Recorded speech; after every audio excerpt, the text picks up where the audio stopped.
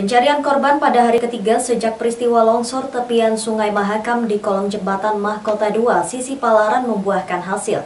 Korban bernama Aan Riyadi ditemukan meninggal dunia sekitar 1 km dari tempat kejadian. Berikut informasinya. Duka menyelimuti keluarga Aan Riyadi, pemuda berusia 22 tahun yang beralamat di Jalan Kopi RT 16 Samarinda itu ditemukan sudah tidak bernyawa. Jasadnya ditemukan tim SAR gabungan mengapung di Sungai Mahakam, berjarak sekitar 1 km dari tempat kejadian tanah longsor di kolong jembatan Mahkota 2. Aan Riyadi adalah salah seorang pemancing yang ikut terseret tanah longsor.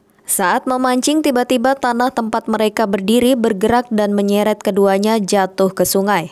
Galih berhasil selamat, sedangkan Aan hilang dan baru ditemukan pada hari Selasa jam 8 lewat 10 pagi. Perkembangan operasi KMM. Hari ini tadi kami terima informasi dari rekan-rekan di unit siaga Sar Samarinda melaporkan bahwa korban atas namaan itu sudah ditemukan dalam keadaan My Delta pada pukul 08.10. Baik Pak, uh, korban kondisinya ditemukan dalam meninggal dunia Pak ya, dan rencananya akan dibawa ke mana Pak? Iya, untuk korban dalam keadaan meninggal dunia dengan jarak ditemukan kurang lebih sekitar 1 km dari LKK. Dan sementara ini korban untuk proses dari tim dibawa ke rumah sakit AWS untuk dilakukan eh, dilakukan visum dan otopsi. Kasus longsor itu sendiri kini ditangani pemerintah. Wali Kota Samarinda Andi Harun mengambil langkah tegas menutup semua aktivitas lalu lintas di atas jembatan sampai investigasi selesai dilakukan dan pemerintah menyatakan aman.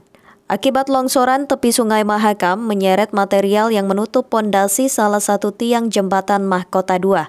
Pembukaan tanah penutup pondasi tiang itu memunculkan kekhawatiran karena bersentuhan langsung dengan arus air yang mudah terjadi erosi. Pak bisa terangkan Pak ini kan kondisi kap, uh, jembatan Mahkota 2 kan posisi masih uh, rawan nih Pak. Apakah tim basarnas disiagakan atau bagaimana Pak?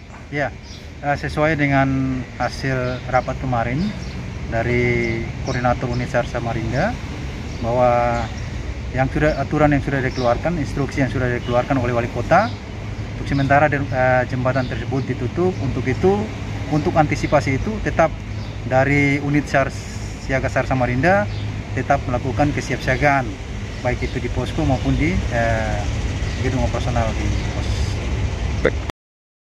Setelah dievakuasi tim SAR gabungan, Jenajah Aan dibawa ke Rumah Sakit Abdul Wahab Syarani untuk visum dan selanjutnya diserahkan kepada pihak keluarga. Tim Kaltim TV melaporkan. Demikian Kaltim Update edisi kali ini. Informasi lainnya dapat Anda simak melalui situs website kami www.kaltim.tv, channel YouTube dan fanpage Facebook Kaltim TV. Jangan lupa untuk selalu patuhi protokol kesehatan. Saya Rosmi Rahma bersama kerabat kerja yang bertugas pamit undur diri dan sampai jumpa.